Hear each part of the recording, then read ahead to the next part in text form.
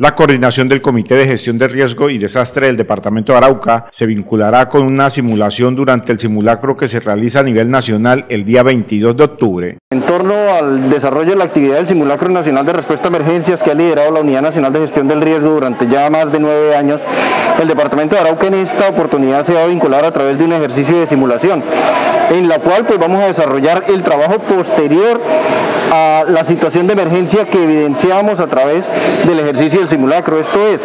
ya la simulación es el trabajo administrativo y de oficina que tenemos las entidades encargadas del manejo de la respuesta a la emergencia para la toma de decisiones en la respuesta a esas emergencias que se vienen presentando en el departamento. Eh, vale la pena destacar que seis municipios del departamento se han vinculado activamente en este desarrollo, en esta actividad,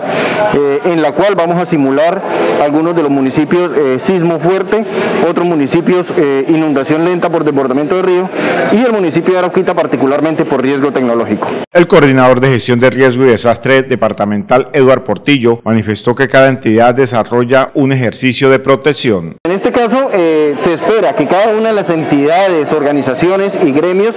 desarrollen un ejercicio no de simulación, sino de autoprotección y autoseguridad. Esto es, que verifiquen sus planes de emergencia familiares, institucionales y comunitarios, que verifiquen que cuentan esos planes de emergencia con las rutas de evacuación, con, con los números de emergencias actualizados para poder llamar en cualquier momento de,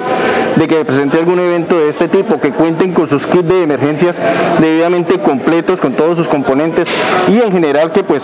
obviamente en, en el momento en que se presente alguna situación de emergencia puedan contar con estos elementos y herramientas para su autoprotección. El funcionario señaló que en las instalaciones de la gobernación de Arauca se evaluará las alertas y cómo evacuar el edificio. La gobernación de Arauca tenemos nuestra brigada que va a desarrollar la evaluación de ese plan de emergencia, va a verificar eh, la, pertinencia de esas rutas de evacuación, va a evaluar el sistema de alarma que se presenta acá en la gobernación de Arauca para informar sobre cualquier evento y brindará algunas capacitaciones a algunos funcionarios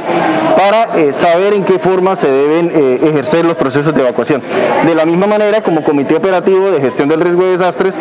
el Consejo Departamental estará reunido en la sala de crisis ubicado en la Defensa Civil desarrollando el ejercicio de simulación directamente articulado con la Unidad Nacional de Gestión del Riesgo para rendir el informe de cuáles son las actuaciones que desarrollamos, los mecanismos de respuesta